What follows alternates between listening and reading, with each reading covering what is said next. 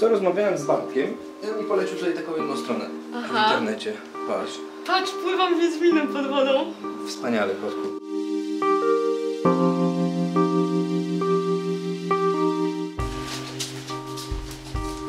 Cześć. Kupiłeś samochód. Mój kotku, nie przesadzaj. No nie kupiłbym samochodu bez ciebie.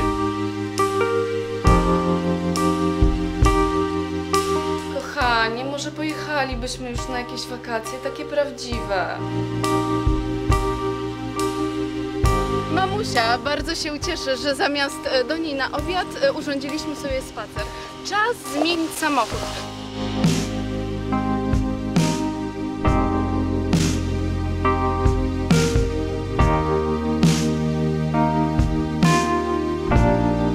Wiesz co, zmęczyłam się.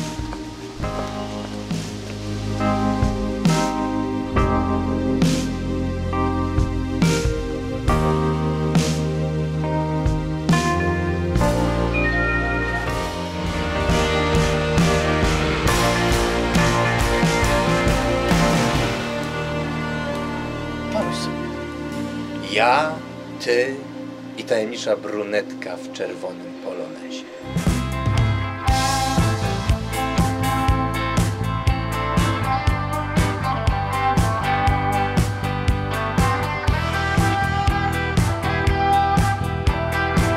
Tak, bardzo kusząco.